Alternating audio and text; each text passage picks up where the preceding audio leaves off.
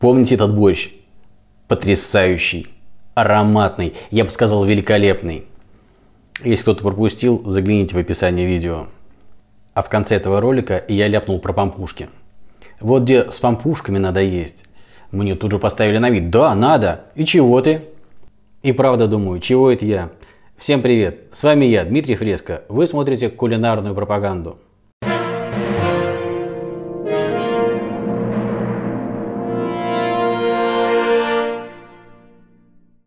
Рецептов пампушек существует столько же, сколько рецептов и борщей, если не больше. Но я собираюсь вам показать один. Чем он хорош?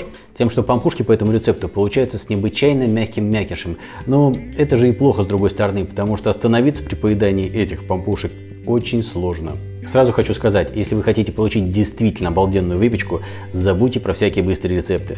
Быстро готовятся только всякие там кексы, да и то не все.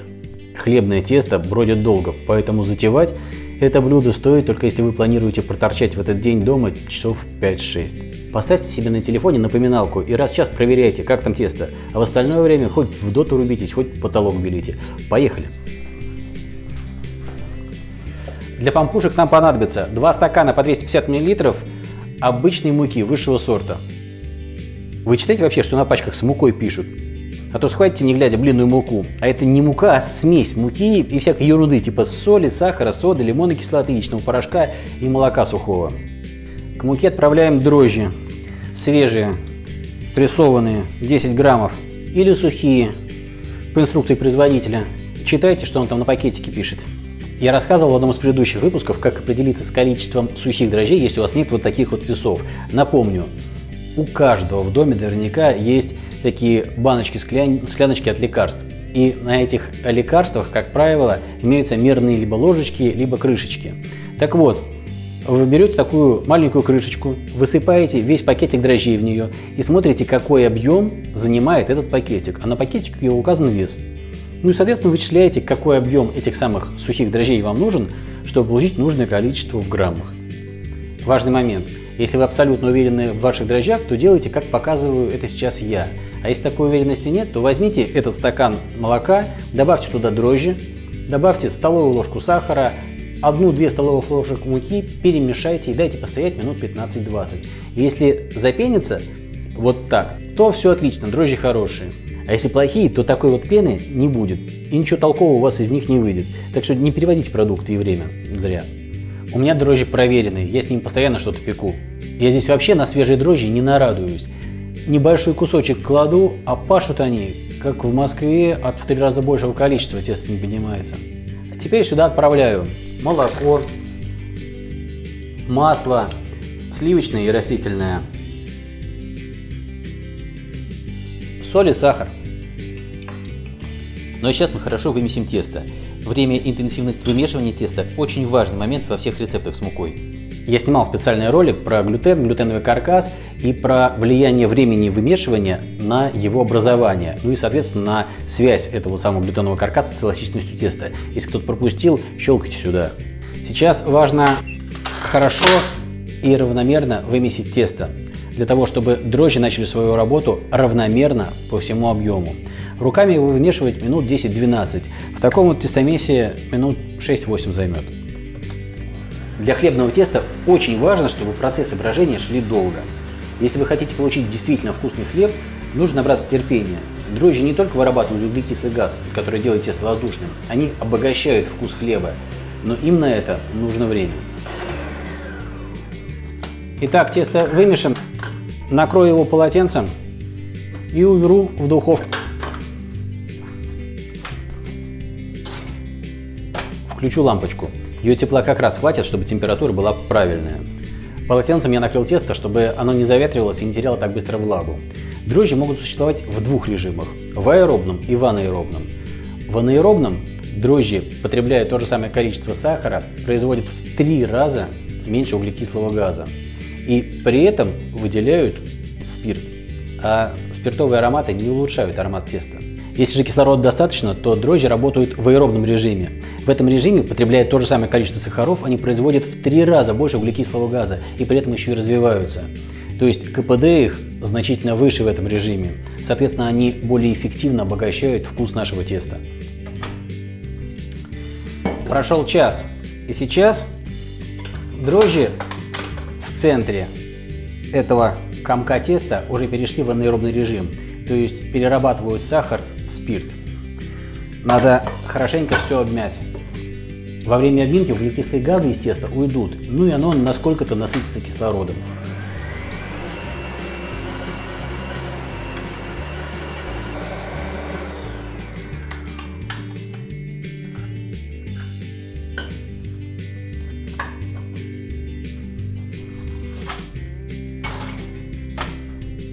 За час колония дрожжей вполне развелась, и сейчас, после обогащения теста кислородом, скорость подъема значительно увеличится.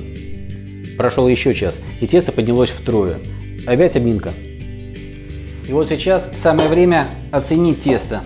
Если оно слишком мягкое, слишком липкое, то самое время добавить муки. Чем более мягкое тесто, тем более нежная и воздушная будет выпечка, но и тем сложнее с ним работать.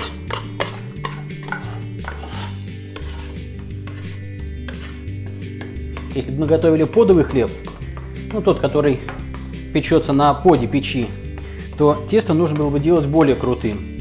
Это, например, батоны, булочки. Но мы готовим пампушки. Они выпекаются вместе в одной форме. Выкладываются они на противень так, чтобы между ними было какое-то расстояние. При подъеме они увеличиваются в размерах, склеиваются, поддерживают друг дружку. Поэтому тесто для них мы можем делать очень мягкое. Вот смотрите, тесто еще слегка прилипает к рукам, но с ним уже вполне можно справиться. Все, оставляем его подняться еще раз, а затем будем формовать из него пампушки. Последний раз тесто поднялось вот до такого состояния за 30 минут. Пол, стол у нас мукой уже подпылен, поэтому выкладываю его. Сейчас начнем формовать булочки, ну, пампушки. Оно очень приятное на ощупь, теплое, мягкое, живое. Сразу подготовлю форму. Она у меня алюминиевая, и надо хорошенько ее смазать маслом. Вообще обычно я ее выстилаю бумагой для выпечки. Потому что, как ее не смазываю маслом, все равно немного прилипает. Но бумага у меня неожиданно кончилась. Поэтому сегодня будет только смазанное маслом. Ну, в принципе, это достаточно удобная форма. Видите, у нее съемное дно, поэтому вынимать выпечку отсюда достаточно удобно. Моя духовка значительно лучше греет сверху, чем снизу, и поэтому снизу все пропекается хуже. Если смазывать форму растительным маслом или маргарином, то вот такое нежное сырое тесто снизу окажется плохо пропеченным. Поэтому я смазываю сливочным маслом. Молочный сахар, лактоза, при нагревании начнет подрумянивать выпечку еще в самом начале нагрева. Пампушки, как и любую дрожжевую выпечку, нужно обязательно обтягивать во время формовки. Вы обязательно почувствуете упругость пальцами. Делать это можно, например, вот так – как только почувствовали, что комочек теста стал пружинить, как будто резиновый, делаем еще пару раз так и готово. Укладываем. Расстояние между макушками надо оставлять сантиметра по 2-3.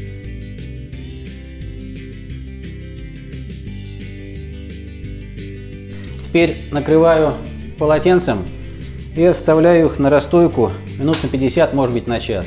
За это время пампушки поднимутся. Ну а духовку уже сейчас начну нагревать. Пока пампушки растаиваются, она как раз раскочегарится до 200 градусов. Вот они как поднялись. Надо обрызгать их водой и поставить в духовку.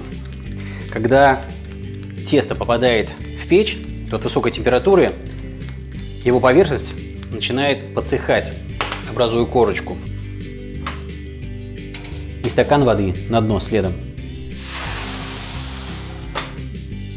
От нагревания пузырьки газа, которые сейчас есть в тесте, начинают расширяться, а вот эта вот корочка, про которую я только что сказал, им не дает этого сделать.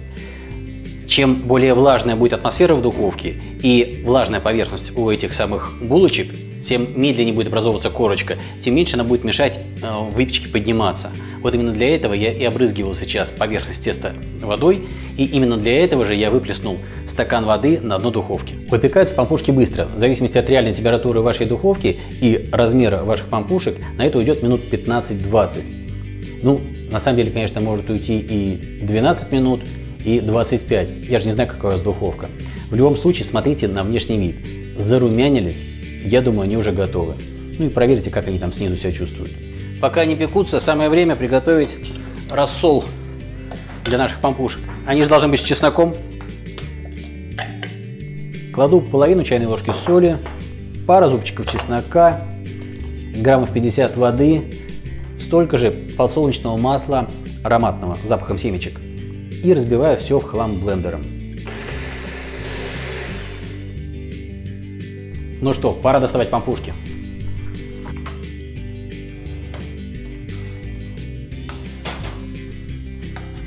Посмотрите, какие они красивые, румяные. Но есть их пока нельзя. Да и мазать их рано. Сейчас в них все еще много влаги. Надо дать им немного остыть. Лишняя влага уйдет, и мякиш станет гораздо более воздушным. Вот, смотрите, что я имею в виду. Не дожидаясь остывания, беру одну и разрезаю. Видите, как склеивается влажный мякиш? Надо выложить их на решетку или на полотенце. Тогда лишняя влага уйдет значительно быстрее. Ну вот, сейчас самое время. Смазываю их чесночно-масляным рассолом. Есть гурманы, которые не смазывают, а макают каждый кусочек при поедании в рассол. Вот теперь можно и попробовать. Смотрите, режу.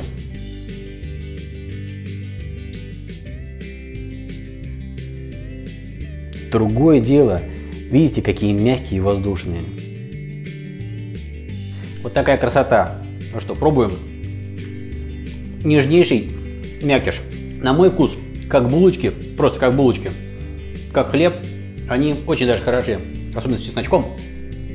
Конечно, под борщ мне бы хотелось более грубого хлеба, либо ржаного, либо с такой мощной хрустящей корочкой. Иногда в магазинах можно встретить такой хлеб под названием какой-нибудь деревенский, еще какой-нибудь такой, то есть более брутальный. Но моим операторам такие вот нежные мягкие пампушки более чем по нраву. Поэтому почему бы мне их не порадовать? Очень рекомендую. На первый взгляд, конечно, готовить их муторно, долго. Но на самом деле вся эта муторность разбита во времени. Вытащить раз в час, слегка обмять и опять оставить их подходить. Ничего сложного, на мой взгляд. Так что готовьте и пробуйте. Вот и все на сегодня. Понравилось?